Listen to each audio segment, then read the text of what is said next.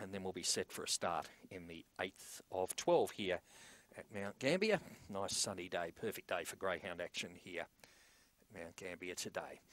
Now, the uh, last is locked away and the green light is switched on. Race number 8, Mount Gambier, set to go.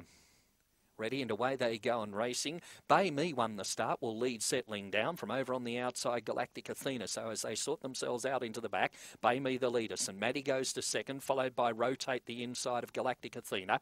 Then came Rough Pearl back out of its ground, L Limes Perseverance on the back, and St Maddie still in front. Galactic Athena goes to the inside, then running on Rotate. Further back then came Bay Me into the straight. It's still St Maddie just in front. Over on the outside, Rotate the inside Galactic Athena, kicking back St Maddie wins. Second placing Rotate. Uh, third went to uh, Galactic Athena in front of Rough Pearl.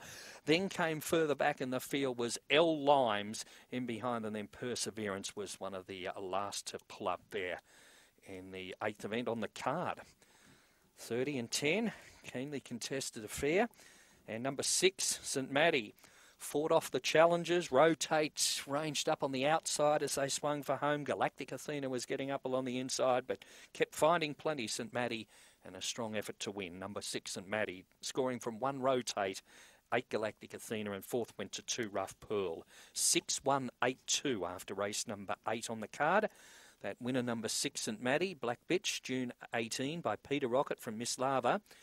Winner is owned by Peter Byrne and trained by Dean Fennell. Gets home by a head on the line. Uh, second placing going to number one Rotate for Robert Halliday, and third into uh, number eight, that being Galactic Athena for Steve Bartholomew. Two gets fourth, Rough Pearl.